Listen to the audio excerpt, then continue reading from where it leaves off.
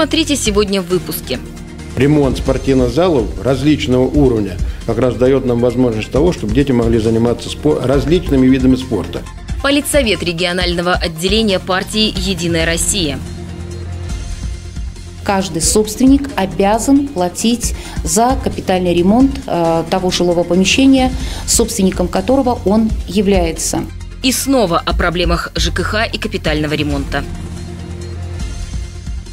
Но обсуждаются темы различные, э, не только вступление в народную дружину, исключение из народной дружины. Народные дружинники Десногорска всегда на страже. Систематическая работа в семье поможет сформировать у детей прочные знания правил пожарной безопасности и не допустить беды. О пожарной безопасности и что делать, если все-таки пожар. В минувшую пятницу в Десногорске состоялось расширенное заседание регионального политического совета партии «Единая Россия». Участники обсудили вопросы реализации проектов, проводимых на территории Смоленской области. В работе регионального политсовета участвовали секретарь Смоленского регионального отделения партии «Единая Россия», председатель Смоленской областной думы Игорь Ляхов, депутат Государственной думы Ольга Окунева, главы администрации районов области, а также члены регионального политического совета «Единой России». Руководитель фракции в Смоленской областной думе Николай Дементьев в своем докладе рассказал о реализации проекта «Детский спорт». Он отметил, что в рамках проекта осуществляется ремонт спортивных залов, строятся площадки и проводятся всевозможные турниры. По э, степени спортивного зала все-таки Десногорск э, сегодня занимает все равно лидирующее место, как бы мы не хотели, и мы радуемся этому.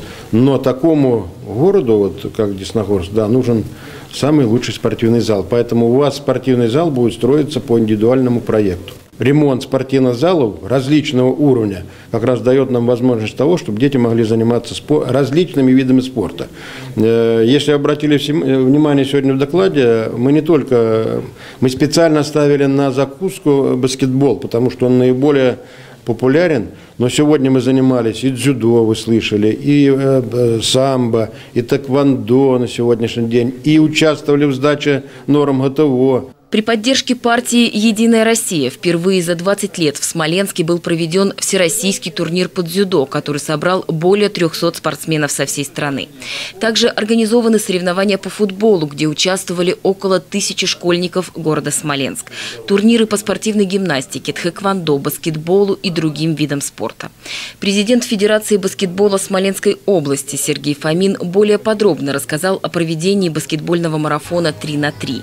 Эти соревнования стали одними из самых массовых, которые когда-либо проводились на территории региона. Когда мы сейчас э, предоставляли статистику членам политсовета, приглашенным, главам муниципальных образований, то все-таки 1650 детей в летний период, которые приняли участие в соревнованиях, это действительно цифра впечатляющая, потому что мы не являемся футболом, у нас все-таки поменьше детей занимается, хотя, скажу так, по численности, по статистике, баскетбол Смоленской области занимает третье место, тем не менее.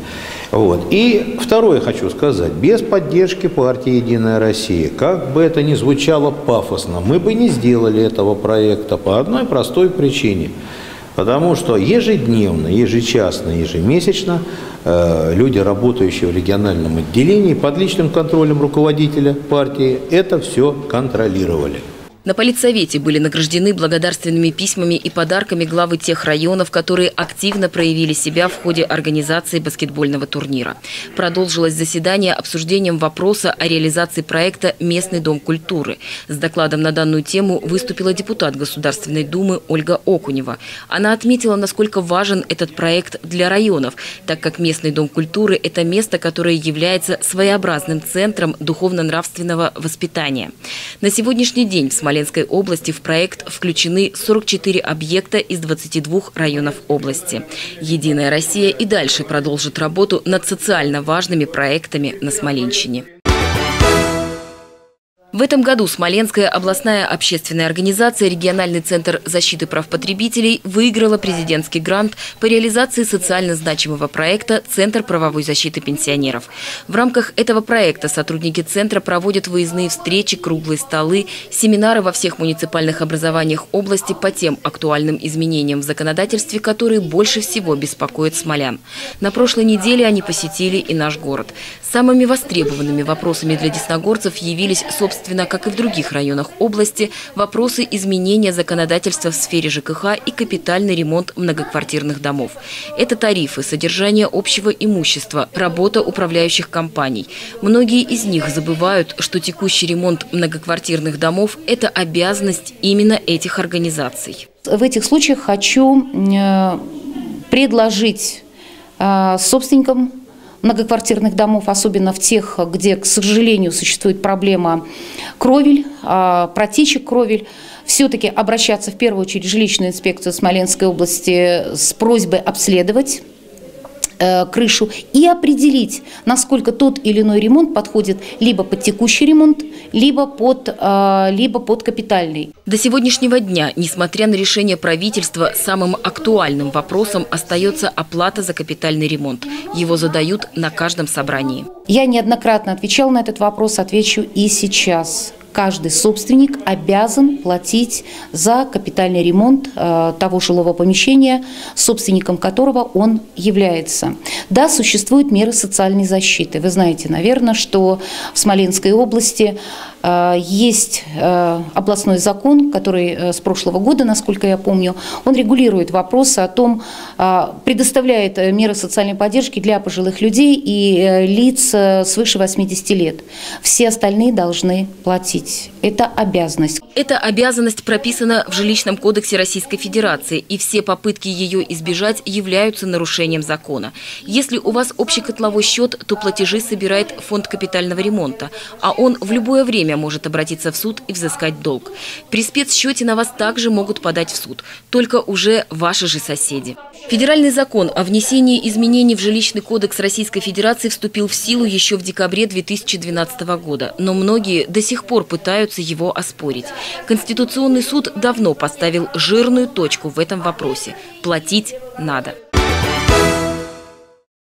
Каждый месяц 28 числа участники добровольной народной дружины собираются у себя в штабе, чтобы обсудить насущные вопросы. В этот раз это были помощь на общественных началах, ремонт помещения штаба за собственный счет и просто бытовые вопросы. Основной вид деятельности ДНД – это охрана общественного порядка. Они патрулируют город с 8 утра до 11 вечера в две смены совместно с сотрудниками полиции. Многие занимаются дружинной работой уже много лет наверное, с 80-х лет, еще с саудеповских времен. Поэтому этот раз э, сразу были приглашены те, которые в архиве в администрации с, сохранились, и нам выписали там э, сразу, вот это сейчас поменяли, ну, с тех времен, в общем, давно. Состав десногорских дружинников небольшой, всего 26 человек, но все они как большая дружная семья, поэтому посторонним здесь не место. На начало года в рядах состояли 50 человек, но решением штаба путем голосования 24 были исключены. Причины разные – нарушение общественного порядка, невыход на дежурство, в целом просто нежелание заниматься этой работой. Основной костяк сформирован, но они всегда рады принять новобранцев в свои ряды всех жителей города Десногорска, у кого есть желание э, осуществлять охрану общественного порядка, помогать сотрудникам полиции. Я приглашаю вступить в народную дружину. Пожалуйста, приходите. Штаб находится первый микрорайон, 14 дом, Престройка, э, бывшее здание РЭВО. Вступить может каждый, придя в штаб добровольной народной дружины в любое удобное время. Из общего числа пожаров многие происходят по вине детей. Но только ли их в этом вина? Наши дети зачастую не имеют понятия, что нужно делать, если случилась беда. Они пугаются и начинают прятаться. Даже наличие открытой двери не всегда помогает в подобной ситуации. Ребенок просто не может сориентироваться. И мы сами виноваты в этом. Мы слишком мало уделяем внимания пожарной безопасности в разговорах с нашими детьми. А ведь это необходимо. Постарайтесь постоянно напоминать детям, что есть предметы, которыми может пользоваться только взрослый человек, а детские шалости и игры с ними могут привести к несчастному случаю. Зачастую спички и зажигалки хранятся в доступных для детей местах. Дети имеют доступ к газовым плитам, утюгам, телевизорам и так далее. Примеров такой беспечности, приводящих к трагическим последствиям, очень много. Систематическая работа в семье поможет сформировать у детей прочные знания о правилах пожарной безопасности и не допустить беды. С самого детства нам знакомы прописные истины. Нельзя играть с огнем и электроприборами. Необходимо наизусть знать свой адрес проживания и номер телефона пожарной охраны 01, с мобильного 101 или 112. И ни в коем случае не оставлять маленьких детей одних дома. А если все-таки пришлось, обеспечьте им безопасность. Спрячьте все опасные предметы.